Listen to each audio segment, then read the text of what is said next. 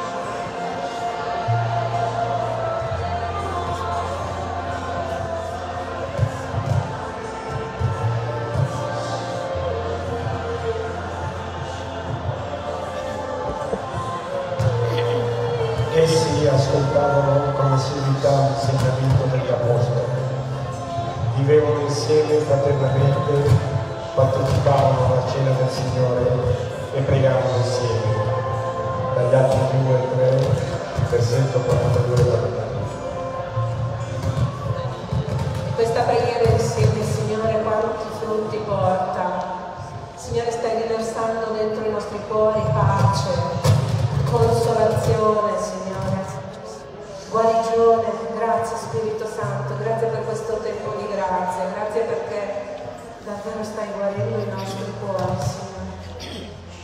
Voglio invitarti ad abbracciare il fratello e la sorella Arnaldo, lasciando che tutta questa benedizione che hai ricevuto sia condivisa e sia riversata in preghiera, questo amore che si effonde, che si moltiplica proprio in questo abbraccio, Signore, più noi lasciamo uscire il tuo amore, più il tuo amore diventa grazia e benedizione, non è a te, Signore.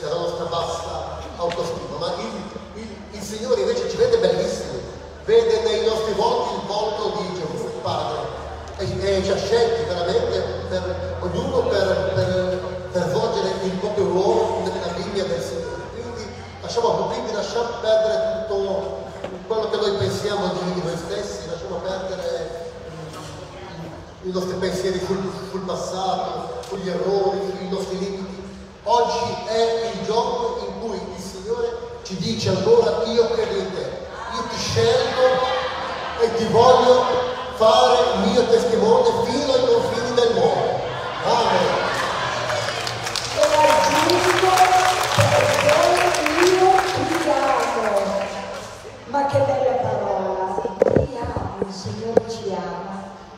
Ma non è meraviglioso questo Signore? Indistintamente da solo se sono bella, se sono brutta, se sono zoppa, se sono... se sono. Non guarda queste cose, il Signore guarda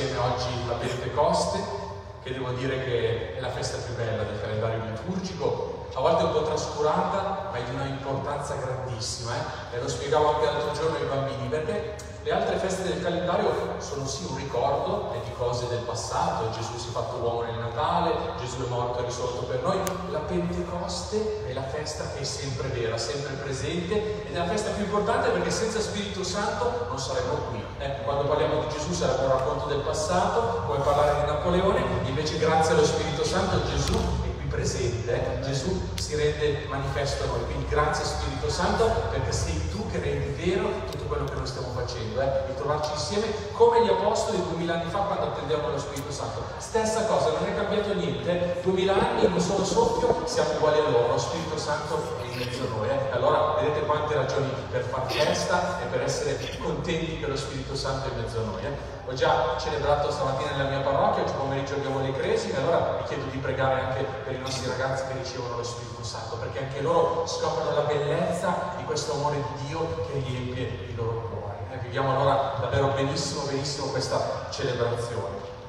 All'inizio della nostra celebrazione, per accogliere al meglio lo Spirito Santo, eh, vogliamo affidare a, a, Dio, a Gesù, le nostre fatiche, i nostri peccati, è quello che ci portiamo dentro, che ci impedisce di essere felici fino in fondo, di provare la pace del cuore.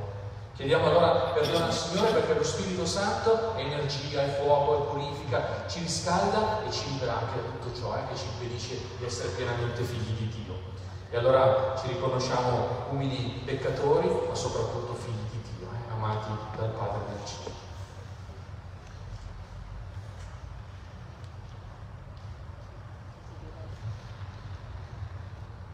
Confesso a Dio Onnipotente e a voi fratelli e sorelle che ho molto peccato in pensieri, parole, opere e omissioni, per mia colpa, mia colpa, mia grandissima colpa e supplico la Beata, sempre Vergine Maria, gli angeli, i santi e voi fratelli e sorelle, di pregare per me, il Signore Dio nostro. Dio Onnipotente abbia misericordia di noi, perdoni i nostri peccati e ci conduca alla vita eterna. Ora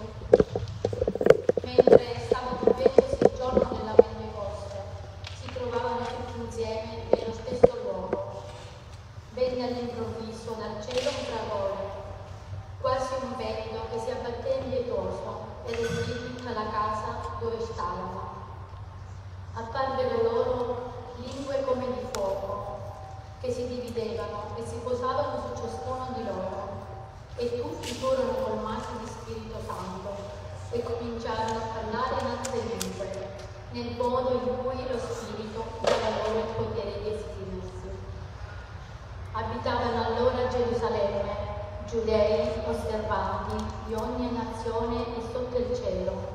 A quel rumore la folla si radunò e rimase turbata, perché ciascuno li udiva parlare nella propria lingua. Erano stupiti e fuori di sé per la meraviglia. Dicevano, tutti costoro che parlano non sono forse galilei? E come mai ciascuno di noi sente parlare nella propria lingua nativa? Siamo parti, medi, Elamiti, abitanti della Mesopotamia, della Giudea e della Cappadocia, del Ponto e dell'Asia, della Frigia e della Panfilia, dell'Egitto e delle parti della Libia, vicino a Cirene, Romani qui residenti, Giudei e proseliti, Cretesi e Arabi, e li udiamo parlare nelle nostre lingue delle grandi opere di Dio. Parola di Dio.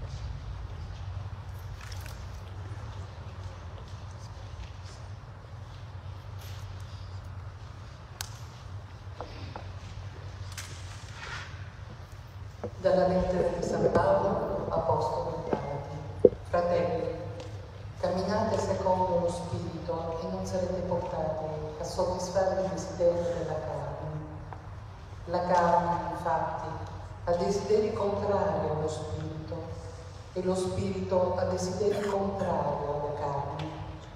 Queste cose si oppongono a vicenda, sicché voi non fate quello che vorreste. Ma se vi lasciate guidare dallo spirito, non siete solo una legge, del resto sono ben note le opere della carne.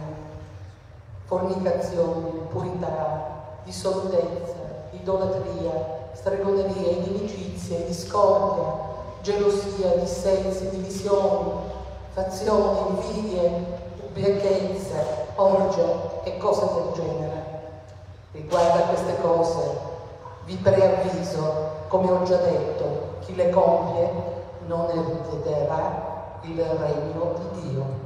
Il frutto dello Spirito invece è amore, gioia, pace, magnanimità, benevolenza, bontà, fedeltà, mitezza, dominio di sé.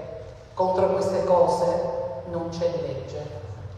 Quelle che sono di Cristo Gesù hanno crocifisso la carne con le sue passioni e i suoi desideri. Perciò se viviamo nello Spirito, camminiamo anche secondo lo Spirito. Parola di Dio.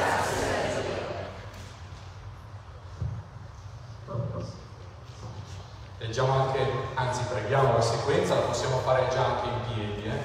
la nostra sequenza allo Spirito Santo, eh, per questa bella invocazione che ci prepara a gustare bene il Vangelo. Vieni, Santo Spirito, manda a noi dal cielo un raggio della tua luce. Vieni, Padre dei poveri,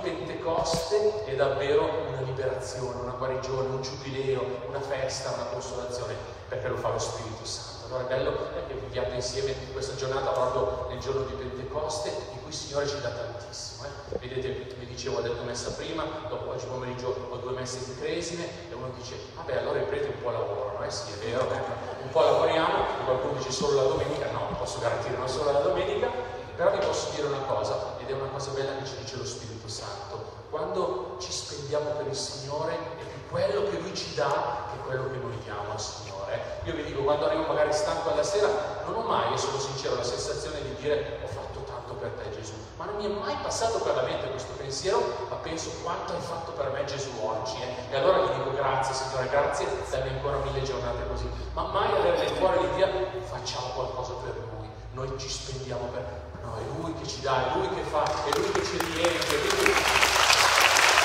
anche, anche questa sera quando andrete a casa mi raccomando pensate Signore ti ho dato tutta la giornata sono proprio bravo eh. no Signore quanto mi hai dato oggi grazie Signore dammi mille di queste giornate questo è il modo giusto perché le benedizioni siano sempre grazia su grazia e benedizione su benedizione. Allora viviamo bene eh, questo cinquantesimo giorno in cui lo Spirito Santo ci riempie.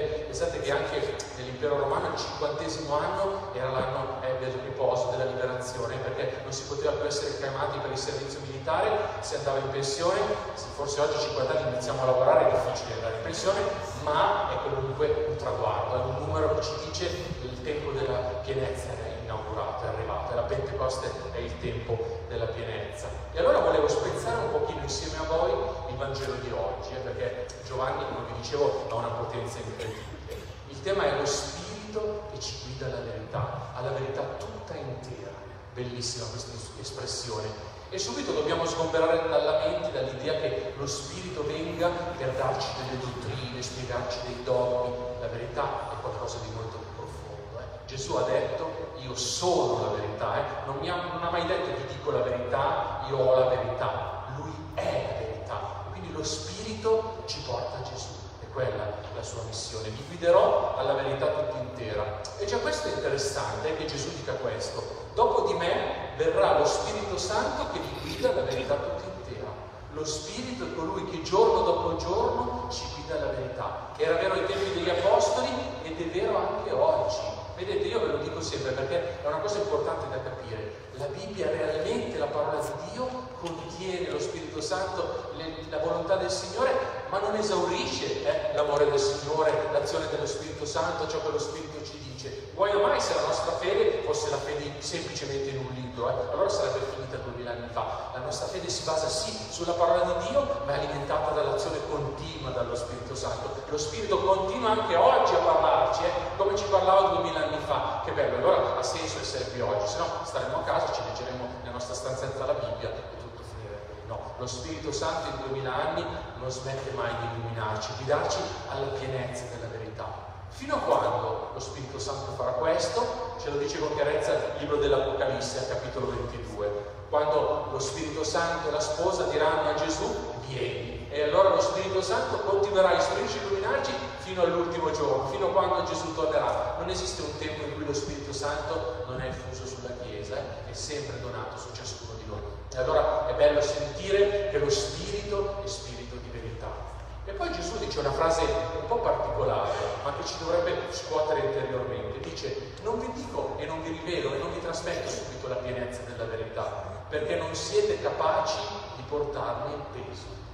Il Vangelo è così dirompente, così potente, così eccezionale che anche noi oggi ancora non ne abbiamo compreso la portata. Il Vangelo non è mai nel passato, ma è sempre nell'oggi e nel futuro. Non l'avevano capito fino in fondo gli apostoli, non lo capiamo ancora noi fino ad oggi pienamente, perché è così straordinario il Vangelo, così lontano da ogni religiosità umana che no, è incredibile riuscire a concepire fino in fondo che Dio ci ama, che è un Padre, che ha deciso di abitare nel nostro cuore, che è morto per... Sono delle cose così grandi che sicuramente non le abbiamo ancora capite fino in fondo, ne abbiamo bisogno. Allora dello Spirito che ci illumini e soprattutto che guarisca eh, questa nostra mente che fatica a entrare realmente nel Vangelo. Ecco perché non siamo in grado di portarne è la pienezza, la libertà. E Dio è Padre, ci dice Gesù, però noi sentiamo il bisogno di correggere Gesù, dire sì è Padre, però anche un giudice giusto che valuta esattamente. Vedete, abbiamo sempre bisogno di annacquare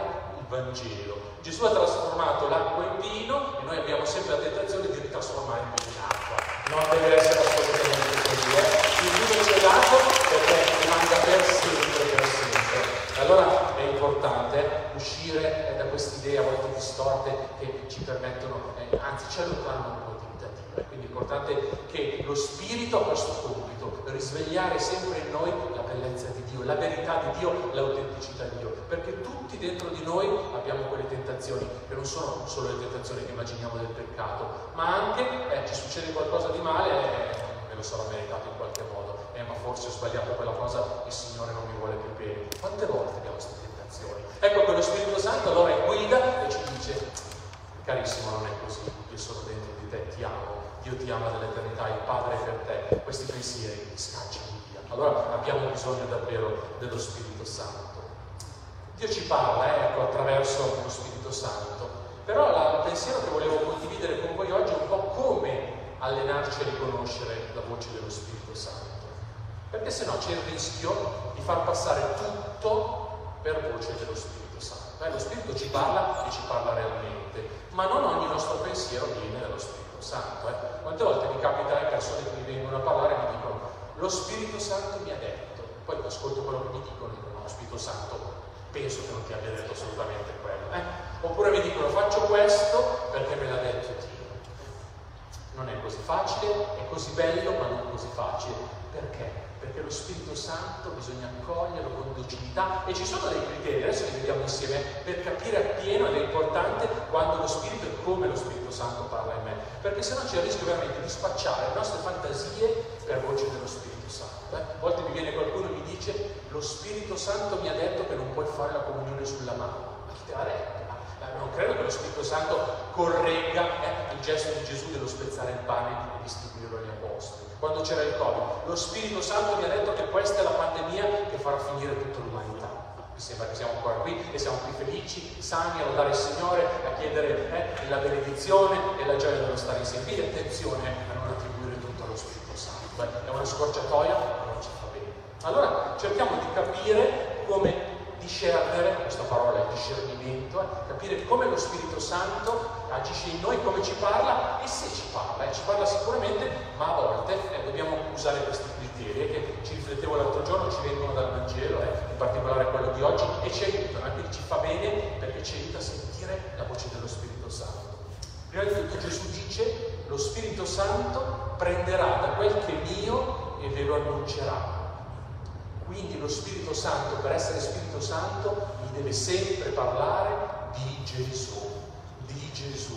Se lo Spirito Santo non mi parla di Gesù, non è lo Spirito Santo, perché lo Spirito Santo è lo Spirito di Gesù, è lo Spirito del risorto, è il dono del Padre e del Figlio. Come fa lo Spirito Santo a parlarci di Gesù? Eh, quando non sentiamo il nome di Gesù, già un pochino dobbiamo attivarci, ma sarà davvero lo Spirito Santo o qualche altro Spirito? Lo Spirito Santo prende da Gesù e ci porta a Gesù. E allora capite che tutte le ispirazioni che ci vengono, i bei pensieri, le illuminazioni, eh, le immagini, le profezie, devono avere questo criterio. Mi parlano di Gesù, hanno a che fare con il Dio che mi ha annunciato Gesù o mi parlano di qualcos'altro? Quello che io sento venire dallo Spirito Santo ha origine nell'amore e porta all'amore oppure no? Eh, guardate che questo è fondamentale. Quello che io annuncio ha come fondamento la fede che abbiamo nel sacrificio di Gesù che ci libera da ogni peccato oppure si basa su altre cose inventate dall'uomo. E capite quanto è importante quest'opera, quasi un setaccio. Cioè, sapete, la farina quando ha dei grumi, e a volte è così, la setacci, rimangono i grumi, la farina scende. Così dobbiamo fare noi. Gesù purifica ogni nostro pensiero, la nostra mente, il nostro cuore. Cuore che in greco indica proprio anche tutto il pensiero, non solo i sentimenti e le emozioni. È fondamentale quest'opera di comprensione del- della presenza di Gesù in quello che diciamo. Perché vedete, eh, anche quando leggiamo la Bibbia, non solo l'Antico Testamento, ma anche il Nuovo, lo dobbiamo leggere alla luce dello Spirito Santo. Eh, perché anche gli Apostoli non erano arrivati ancora pienamente eh, alla comprensione della verità. E quando, ad esempio, leggiamo quelle pagine di Paolo nel Nuovo Testamento, non so che dice, la donna nell'assemblea stia velata e non parli, non. Allora cosa dobbiamo dire? È lo Spirito Santo o no che diceva queste cose? Sicuramente quelle cose avevano un senso duemila anni fa in quel tipo di assemblea, ma lo Spirito Santo contiene, eh, continua a illuminare la Chiesa, la ispira, eh, e quindi possiamo dire che quelle norme, quelle prescrizioni non hanno più senso ad oggi, è ben lega eh, che anche la donna sia senza velo, possa lodare il Signore, possa anche insegnare, eh, quante, quante donne sono maestre nello Spirito, anche nella storia del cristianesimo, eh. pensiamo a Santa Caterina da Siena, dottori della Chiesa, vuol dire che lo Spirito Santo è, è continuazione e che è in grado anche di superare quelle che erano alcune eh, situazioni culturali storiche dell'epoca in cui anche l'Apostolo Paolo si esprimeva. eh. È davvero tutta parola di Dio, e non è che non sto dicendo che non è parola di Dio, ma va letta alla luce dello Spirito Santo. Allora capiamo la bellezza di ogni singolo versetto, ma alla luce di Gesù dello Spirito Santo. eh. E allora è bello sapere che quando leggiamo la Bibbia dobbiamo farlo nello Spirito Santo in Gesù. Quando leggo un versetto che è un po' difficile, che fatico a comprendere, cosa avrebbe detto Gesù di questo versetto? Come lo avrebbe spiegato Gesù questo versetto? E vedremo che così lo Spirito Santo romperà ogni barriera di comprensione, di difficoltà, come Gesù avrebbe spiegato questo. E allora lì siamo sicuri che è Gesù che ci sta parlando, eh? e non altre voci delle fantasie o che vengono da altre cose. Non dobbiamo mai allontanarci dalla verità più profonda, cioè che Dio è amore e che siamo salvati per amore. Se quello che insegniamo diciamo conforme a questo, Dio è un Padre che è amore e siamo salvati per amore, siamo sulla strada di Gesù, siamo sulla strada dello Spirito Santo. Quando non sentiamo parlare di Gesù, quando ci sono insegnamenti che non parlano dell'amore di Dio o che chissà come la salvezza vada guadagnata, non siamo più nell'amore di Dio, eh? ma in altre strade umane, religiose, ma non è la pienezza del Signore. Allora, al Signore di illuminarci bene su questo punto. Poi Gesù in questo discorso, eh, cui ci parla dello Spirito Santo, ci dice che ci dice queste cose, attenzione, perché portiate molto frutto anche e siate nella gioia. Altri criteri. Quello che mi dice lo Spirito Santo mi permette di portare vita in me e negli altri, oppure qualcosa che mi restringe nella vita e mi fa rendere infelici gli altri. Eh, Il tema della gioia. Lo Spirito Santo, abbiamo sentito nei frutti dello Spirito, è gioia, che non vuol dire che a volte non ci chieda qualche scelta magari difficile, ma sempre per la pienezza di vita, sempre per la felicità, sempre per testimoniare la bellezza di Dio. Vedete che è un criterio straordinario. eh? Allora, se tante esperienze anche storiche brutte eh, del cristianesimo di ogni tipo, eh, capite che non erano realmente cristiani. Eh, non so, le persecuzioni delle crociate, il, bruciare gli eretici, portavano vita quelle robe lì? No, la sottraevano. Quando facciamo qualcosa in nome di Dio ma che non porta vita, Dio non c'entra mai, mai, mai. eh? Tutto il terrorismo, tante cose. Gesù ci sta dando un criterio. Se quello che fai sta portando vita a te e a chi ti sta intorno, sono io e lo Spirito Santo che stiamo agendo. Se non porta vita, se non porta resurrezione, non viene da me quella cosa lì. E guardate che anche questo criterio è grandissimo e importante. E poi eh, il Signore Gesù ci dà anche un'altra informazione fondamentale. Lo Spirito vi annuncia le cose future. Lo Spirito non è mai uno spirito nostalgico del passato. eh. Ah, com'era bello 50, 100 anni fa, quando tutti andavano a messa, quando c'era...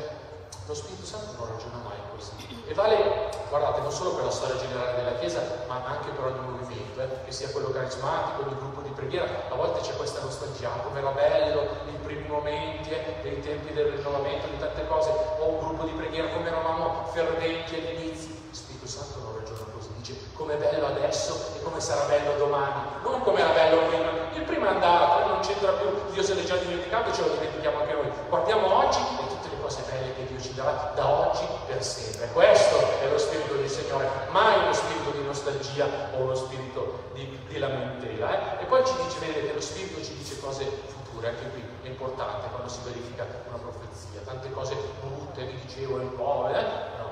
Queste profezie di sventura, come dice la scrittura, non vengono da Dio, perché le parole di Dio sono sempre parole di pace, di serenità e di guarigione, di liberazione, e l'abbiamo sperimentato e abbiamo attraversato anche come genere umano il Covid e ne siamo usciti, e anche questo è un grande dono della presenza di Dio in mezzo a noi. Lo Spirito Santo oggi scende a Pentecoste per essere con noi in maniera nuova, eh? diversa da come lo era l'Antico Testamento, perché vi ricordate come era l'Antico Testamento? Non so, c'era Mosè, doveva dire qualcosa, scendeva su di lui lo Spirito Santo, annunciava la parola di Dio e poi lo Spirito Santo se ne andava. Ora non è più così. Con la Pentecoste lo Spirito è sempre presente in noi, è sempre presente in noi. Dio non è più il Dio che ci guarda dall'alto, non è semplicemente il Dio che cammina in mezzo a noi, ma è il Dio dentro di noi. Questa è una verità grandissima che ci consegna la Pentecoste, che dovrebbe lasciarci fino a stasera a mezzanotte con la bocca aperta, che è grandissimo, è il nostro Signore che ci dà questo dono eccezionale.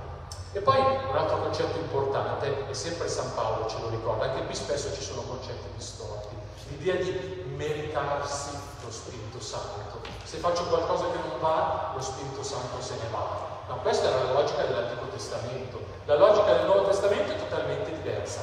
Lo Spirito Santo è sempre, sempre presente in noi e mai se ne andrà.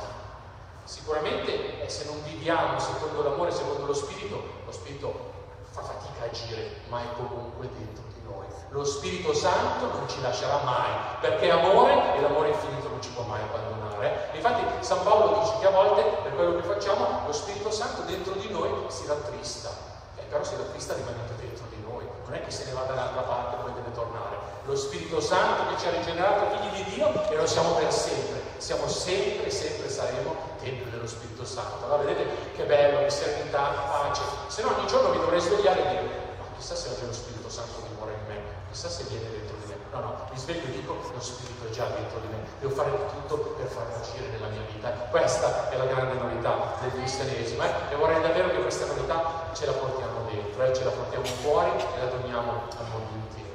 E allora, ecco, l'ultima parte, perché non è una catechesi, ma un po' una riflessione oggi sul Vangelo, su come lo Spirito di verità agisce nella nostra vita. Dove vediamo lo Spirito Santo? Dove vediamo l'azione della potenza di Dio? In tantissimi luoghi, eh? adesso ve ne dico qualcuno. In primo luogo, ad esempio, la creazione. Noi crediamo che la creazione, tutto ciò che ci sta intorno è buono ed è opera di Dio.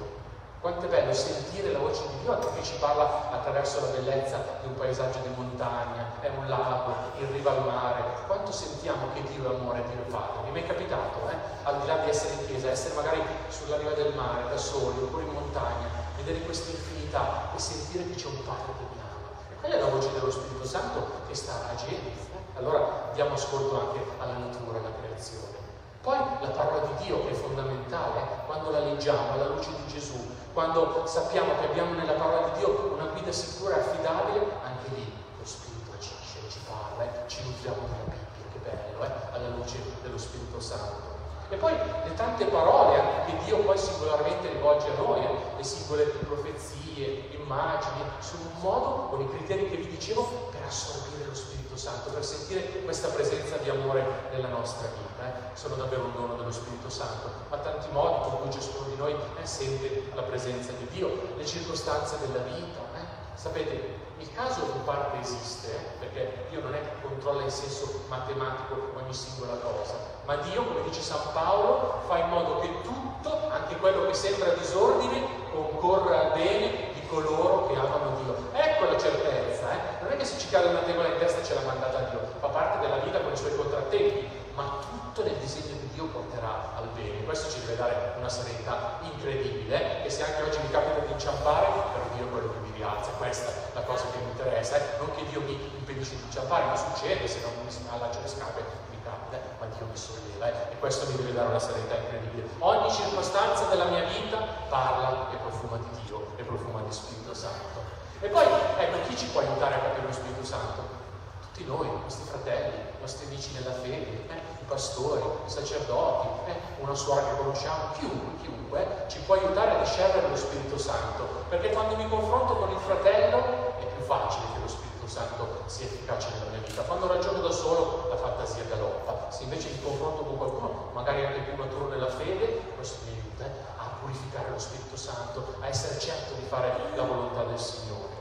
E poi è bello eh, che per noi cristiani e anche per noi cattolici lo Spirito Santo tante volte possa manifestarsi attraverso anche eh, gli angeli, eh, la presenza di Maria, è sempre lo Spirito Santo che parla. eh. Però tante volte Dio chi ci ama, ci vuole salvi, utilizza mezzi infiniti eh, per, per rivelare il suo amore. Ad esempio eh, la presenza dell'angelo custode, la presenza di Maria, tutto viene da Dio, tutto fa lo Spirito Santo. Però a volte anche attraverso queste figure ci portano eh, direttamente a Dio.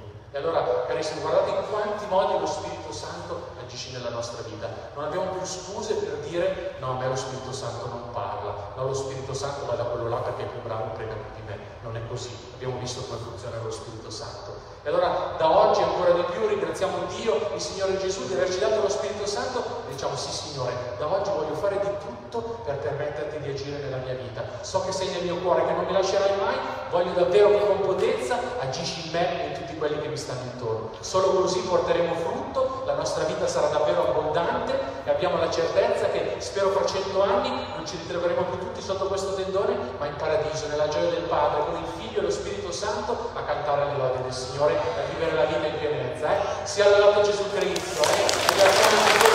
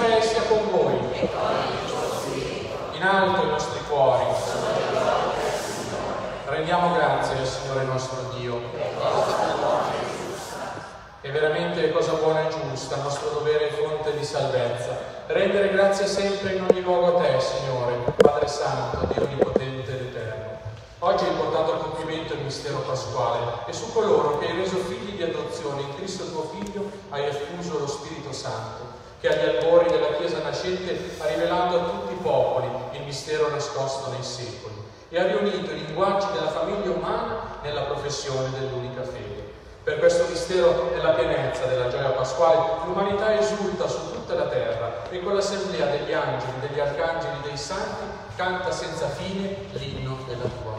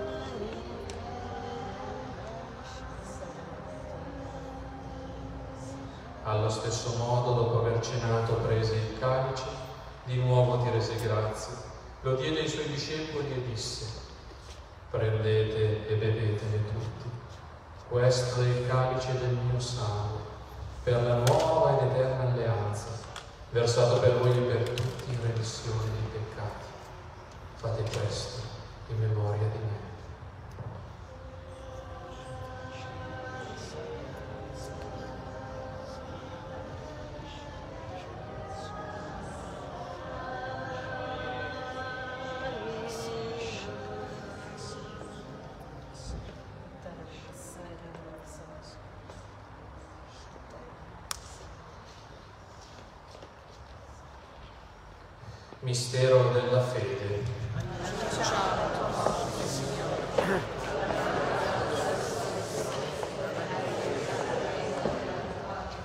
Celebrando il memoriale della morte e resurrezione del tuo Figlio, ti offriamo, Padre, il pane della vita e il calice della salvezza. E ti rendiamo grazie perché ci hai resi degni di stare alla tua presenza a compiere il servizio sacerdotale. Ti preghiamo umilmente per la comunione al corpo e al sangue di Cristo, lo Spirito Santo ci unisca in un solo corpo. Ricordati, Padre, della tua Chiesa diffusa su tutta la terra. Rendila perfetta nell'amore e unione con il nostro Papa Francesco, il nostro Vescovo Franco Giulio, i presbiteri e i diaconi. Ricordati anche dei nostri fratelli e sorelle che si sono addormentati nella speranza della resurrezione e nella tua divina misericordia di tutti i nostri cari defunti. Ammettili alla luce del tuo volto. Di noi tutti abbi misericordia, donaci di aver parte alla vita eterna, insieme con la Beata Maria Vergine, Madre di Dio, San Giuseppe suo sposo, gli Apostoli, con tutti i nostri patroni, con la Beata Elena Guerra e tutti i santi che in ogni tempo ti furono graditi. E in Gesù Cristo tuo Figlio canteremo la tua lode e la tua gloria.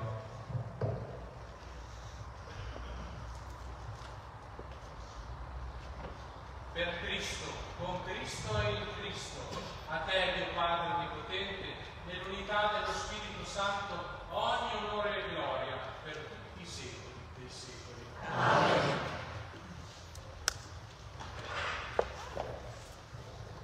Ancora una volta grazie allo Spirito Santo, per benedizione e presenza dello Spirito Santo, il Signore Gesù si fa presente, per renderci non solo fratelli, ma soprattutto figli che pregano e cantano dicendo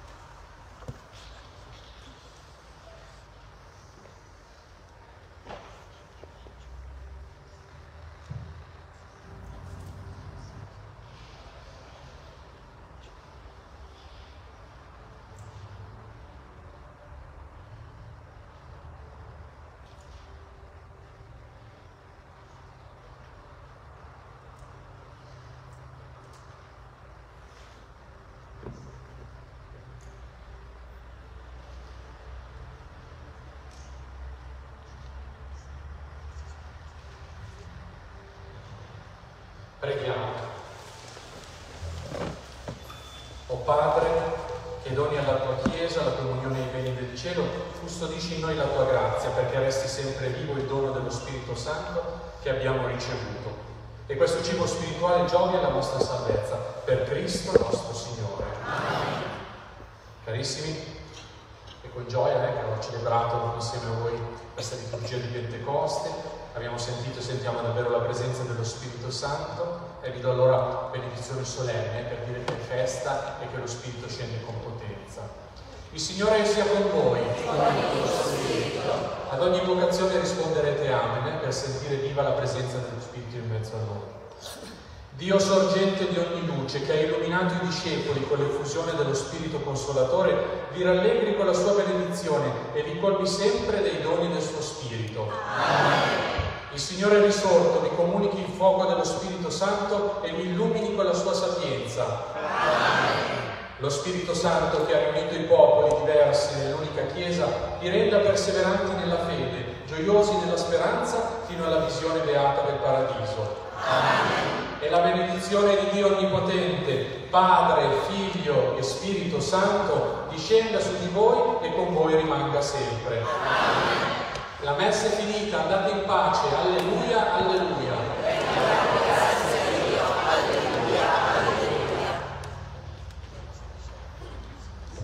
E Signore, noi non abbiamo niente per ringraziare Simon Pietro, a parte un applauso e questa è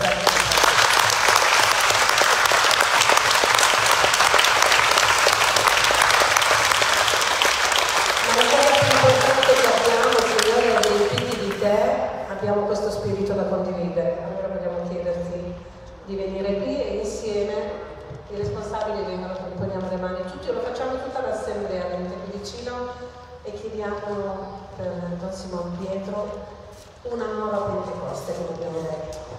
Una Pentecoste, Signore, che renda l'uomo ogni uomo, ogni attimo della sua vita, Signore. Donagli occhi capaci di stupore, di saper riconoscere la tua opera in ogni cosa, Signore, come lui ha citato nell'omelia, Signore, perché tu sei talmente fantasioso che rieti nel nostro cuore nel in tante sfaccettature, ma soprattutto, Signore, ti chiediamo di Lui la tua potenza, Signore, perché le parole che escono dalla sua bocca siano proprio, arrivino come una spada a doppio taglio e siano efficaci per guarire, liberare, consolare, portare la tua mano presente e potente al tuo popolo bisognoso. Allora vieni Spirito Santo nel nome di Gesù.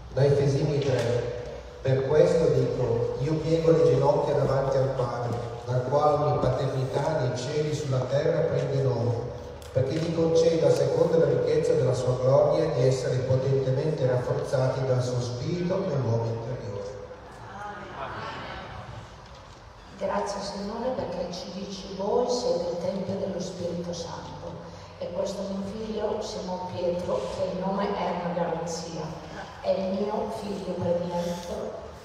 Grazie Padre, questo ministero che gli hai dato, grazie.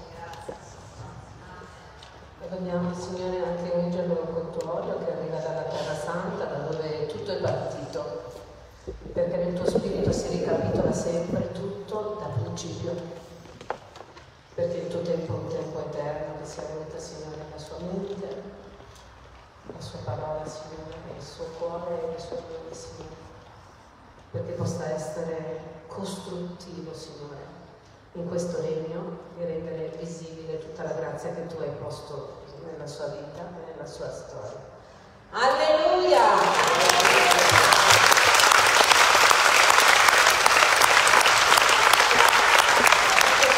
facci una foto. guarda.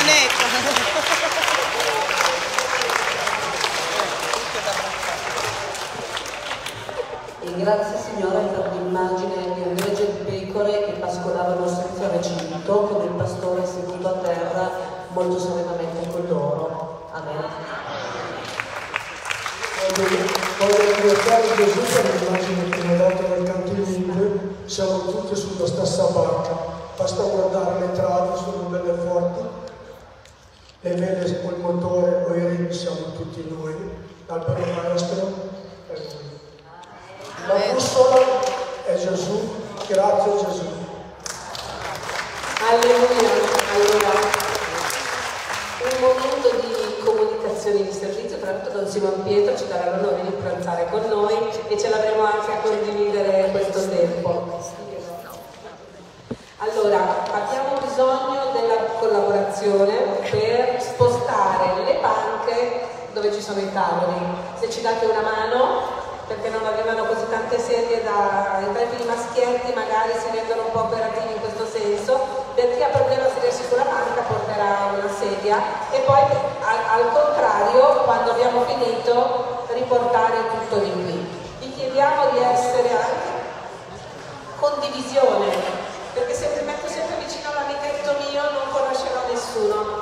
Ma questo sappiamo che è il bellissimo popolo la bellissima famiglia di rinnovamento